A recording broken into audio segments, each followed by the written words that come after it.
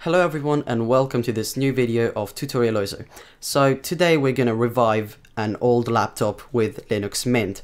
Now if you don't really know what Linux is, I will soon upload a video on my channel where I explain all the key points that you need to know about Linux. So subscribe to my channel if you haven't already. Now this procedure will delete everything from your hard drive there is a way of keeping your old operating system and installing Linux Mint with it, but I'll talk about that later on in the video. So it's gonna erase everything from your computer, so copy any files that you want to keep on another hard drive or a USB stick. So let's not waste any more time, let's go on our Windows machine and see what we need to do. All you need is a USB drive of at least 2 gigabytes.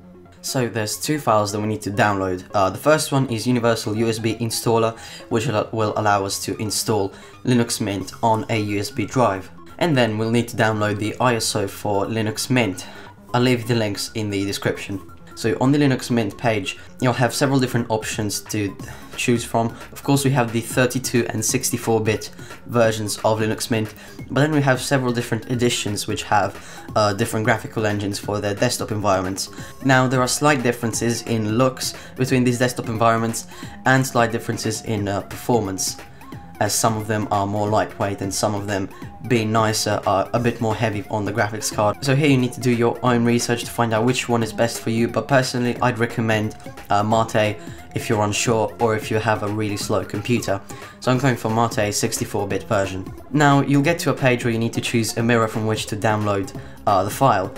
I'll, I'll just recommend uh, picking the closest one to you so I'm going for the Europe United Kingdom one.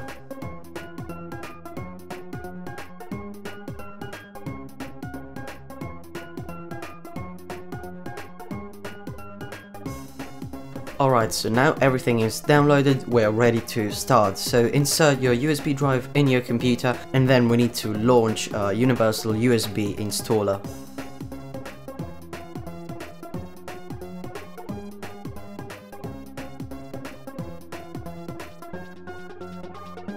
After having agreed to the license agreement, we'll get to the setup page. So on here we need to select uh, Linux Mint, which is the distribution that we're going to install. Then we need to browse for the ISO file uh, that we downloaded and select it so that the program uses that one for the installation media. And now we just need to select the USB drive on which we want to uh, perform the installation. You'll need to tick the format box, which means that it will delete everything from the USB drive. So if you have any important data, copy it to your computer and after the installation you can reformat the media, reformat the USB stick and put all the files back in it, but for the moment we need to delete everything from it to create a bootable Linux USB device. After you click create, you will get a summary of what the program is going to do. And if you click yes, the procedure will start. Whatever program you have for managing your compressed folders, whether it's 7-zip or RAR, that will open up and start unpacking something. That is absolutely normal, so don't worry.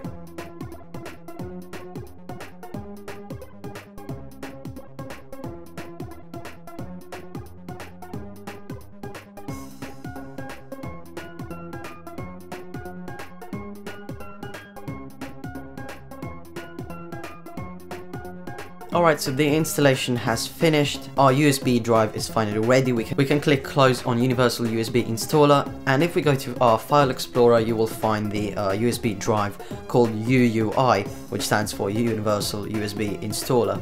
So now we need to boot into our USB drive from the computer on which we want to install Linux Mint. So insert the USB drive in that computer and turn it on.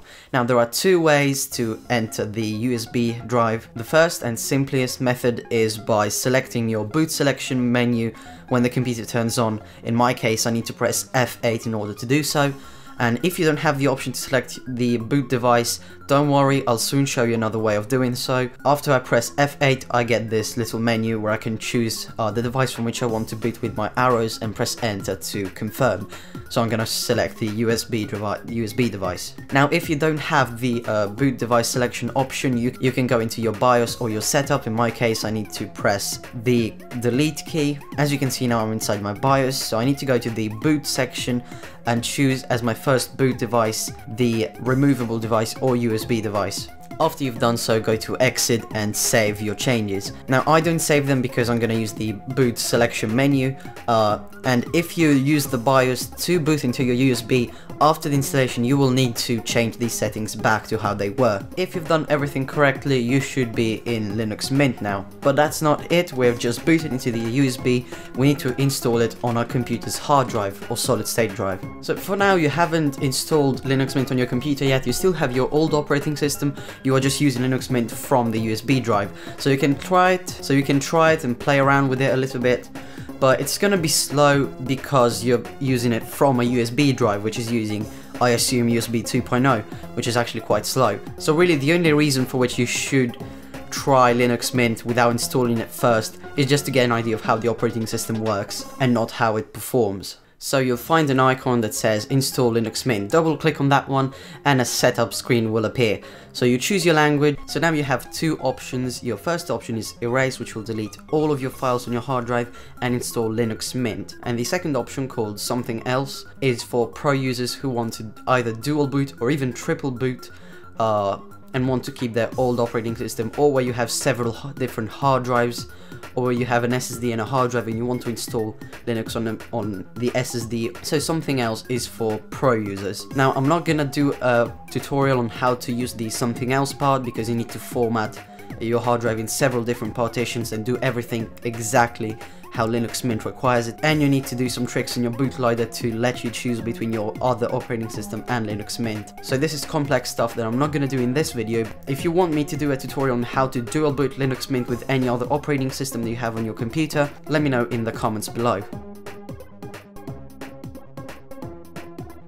So now we selected the erase and press continue, we'll need to choose our keyboard layout and after that we need to create an account for our computer. And after we've done all of that, the installation will finally start. This will take quite a while and after it's done you can either continue testing Linux Mint through your USB drive or you can restart your computer to finally boot into Linux Mint from your computer